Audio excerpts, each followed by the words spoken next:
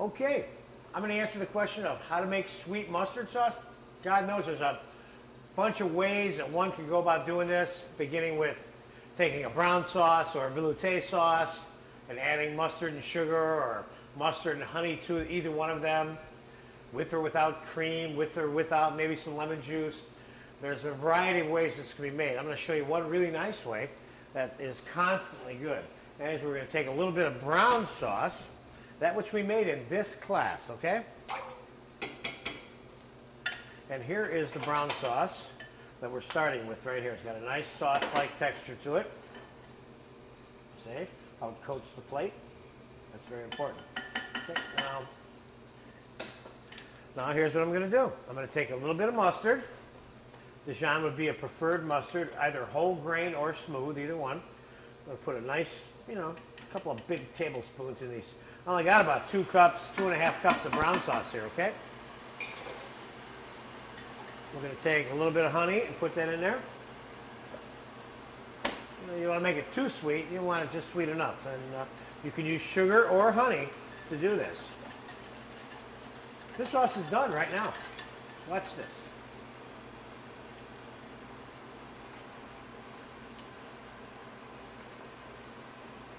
This sauce is good. I'm going to put a little bit more mustard in it. I'm going to mix it up a little bit more. Let's get it on the fire here for a second.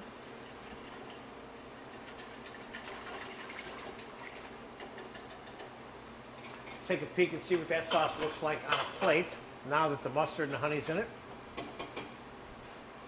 You'll notice though, I'm always testing the sauce on a plate.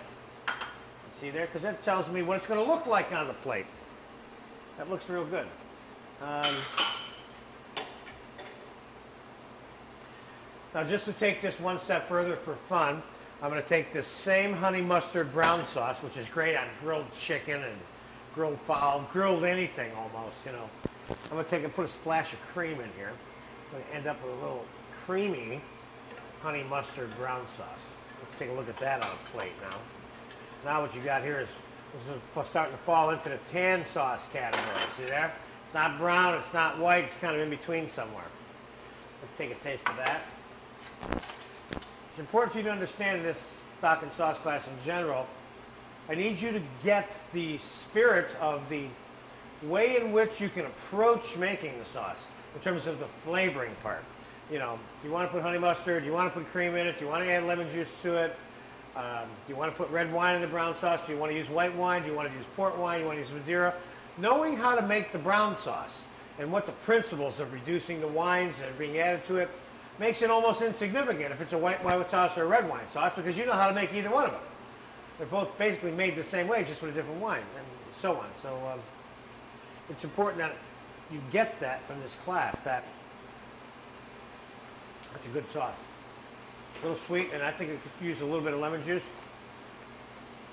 And if I was going to serve it, or when I do, I might add some to it. But, um, uh-oh, here comes the lemons. Richard will not let me live like without, if I can't finish it, he doesn't want it. Let's put a little bit of lemon in there.